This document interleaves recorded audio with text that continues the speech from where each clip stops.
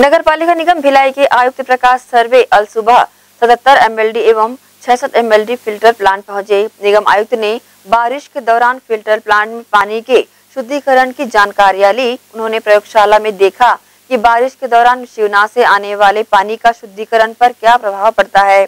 वहाँ उपस्थित अधिकारियों ने बताया कि बारिश के दिनों में टाबेडिटी बढ़ने की संभावना होती है, जिसको देखते हुए जल शुद्धिकरण की प्रक्रिया अपनाई जाती है।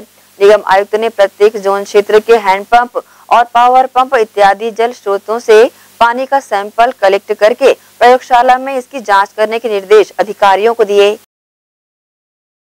आगामी बारिश को देखते हुए आयुक्त महोदय क्षेत्र का भ्रमण कर रहे हैं और जाम नालियों को भी खुलवा रहे हैं।